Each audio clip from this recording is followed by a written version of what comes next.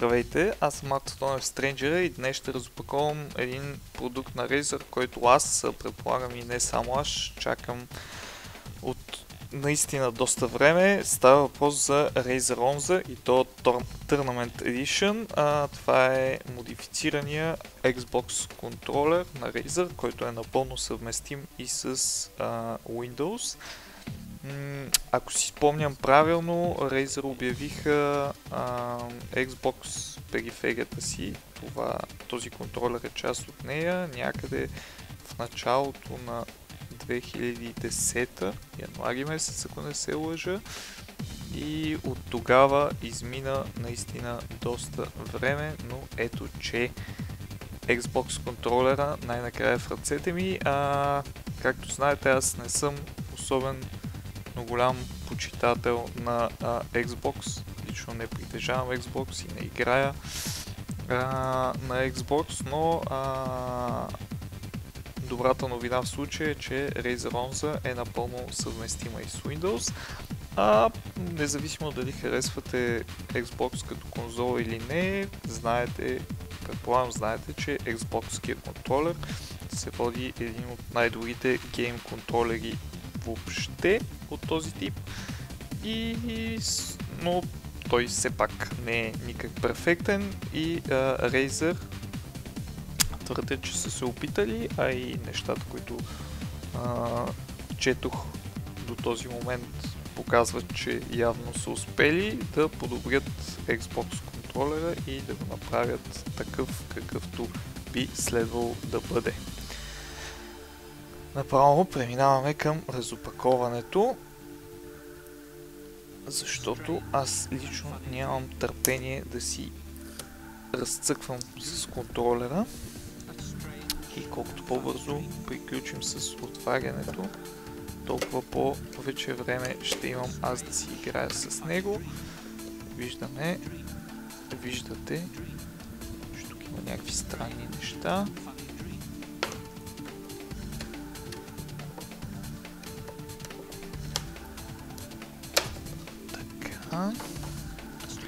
Ето го. Красавеца. Рейзаронза и отгоре, между другото, имаме надпис Resistance is futile. Да видим сега какво се случва тук.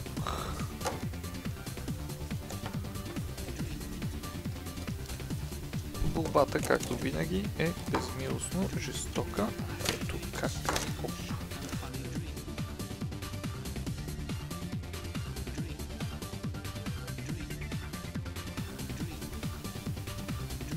For Gamers, by Gamers. И вътре имаме сертификат за автентичност. Първо сертификат за автентичност. Quick Start Guide с бързи инструкции как да ползваме Razer Onsa. Стикерчета.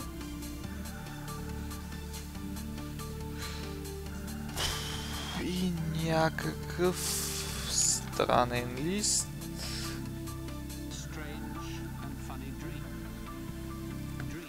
с инструкции какво да правите, ако решите да изхвърляте продукта. Както и да е.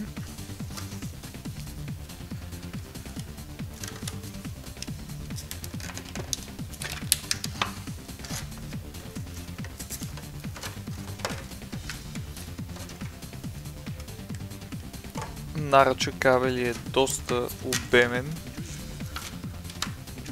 когато Razer казаха, че са сложили дълъг кабел, наистина не са се шегували. То.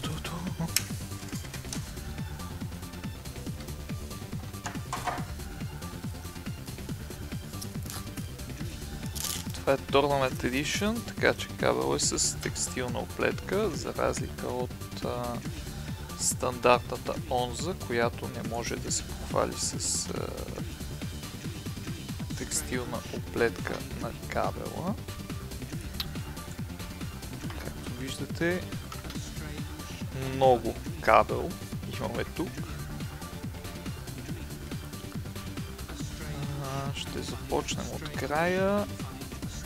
Значи в този край на кабела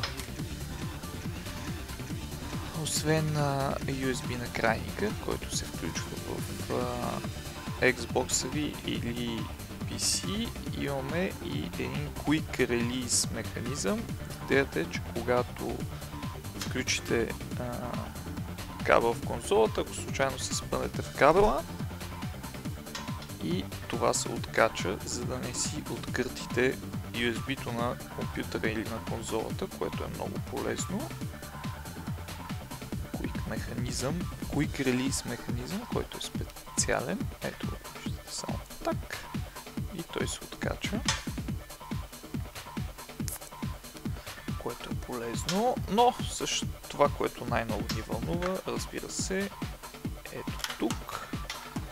Запознайте се с Razer Onza Tournament Edition. На пръв поглед нещата не изглеждат чак толкова е, различно от Xbox пада.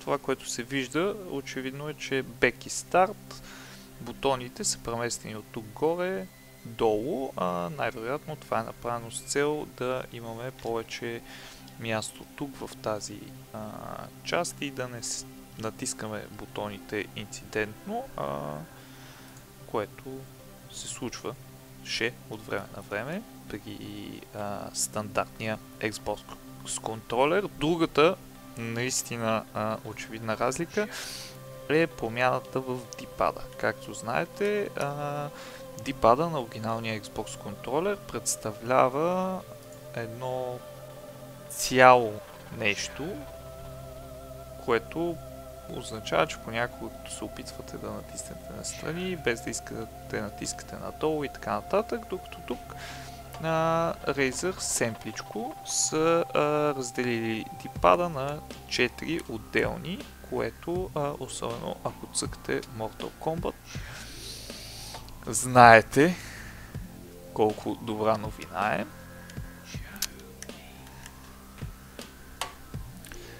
Друго интересно нещо, което може да забележите е това а, приличащо на зъбно колело, нещо под гъбките, то е налично и на двете, а идеята е, че посредством ето тази врътка, само секунда да видим как се врътка тази врътка,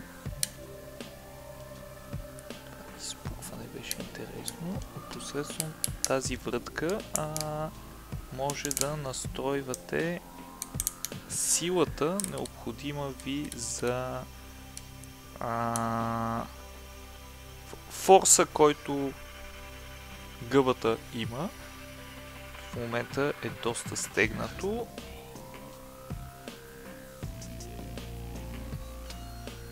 Докато, като го развием обратно,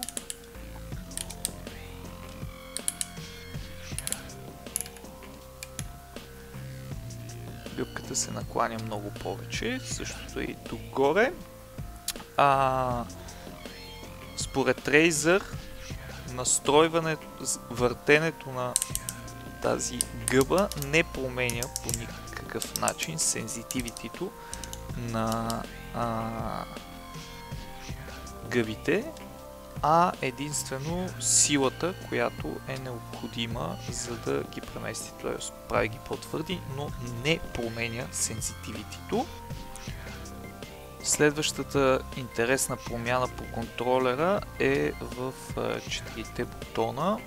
А, както може би знаете, стандартният Xbox контролер ползва а, мембрана, т.е. под копченцата има мембрана, докато а, тук Razer са приложили технология подобна на а, бутоните на мишките. Резултатът е, че Бутоните имат много по-малък ход, както може би виждате в момента.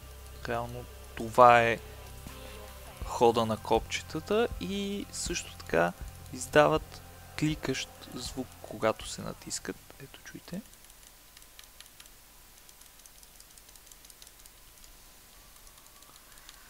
Резултатът е, че а, доста по-бързо и лесно може да натискате копчетата, защото те имат съвсем по-малък ход от стандартните бутони, а и кликащия звук винаги е приятен. Следващия а, много интересен момент е в а, горната част на контролера. Както се вижда, първо долните спусъци наистина приличат на спусъци, издължени са, което е а, интересно решение и реално прави доста по-удобни за натискане и разбира се промяната е ново появилия се допълнителен бутон ето тук.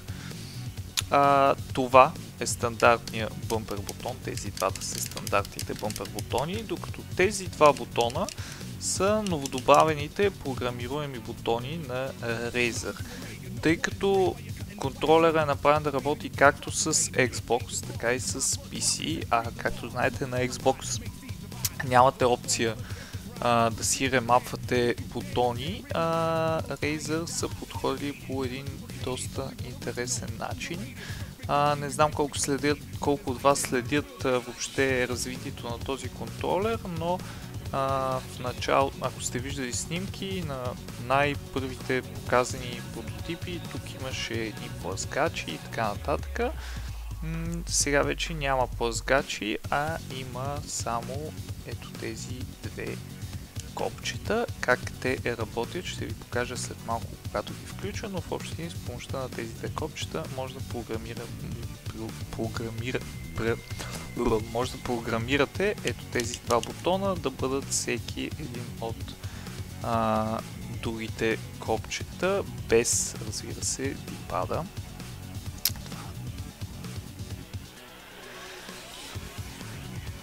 Също така, сигурно виждате, приятния а, матов завършек на контролера, стилното Razer лого тук.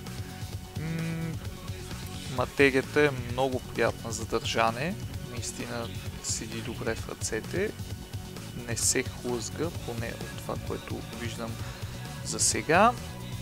Единственото, което грози контролера е това ужасно Xbox лого тук, но няма пълно щастие. А в долната част стандартния 2,5 мм жак, естествено Razer за слушалки, естествено Razer препоръчват а, да ползвате Razer Chimera, но а, контролер би трябвало да е съвместим с повечето стандартни Xbox слушалки, а на сайта на Razer пишеше нещо типа на, че онези устройства, които се ползват за да се закачат към контролера, за да си чатите, а, са несъвместими заради променената форма на контролера. Като казах променената форма, може да видите, че дръжките изглеждат по малко по-различен начин, но захвата седят много удобно.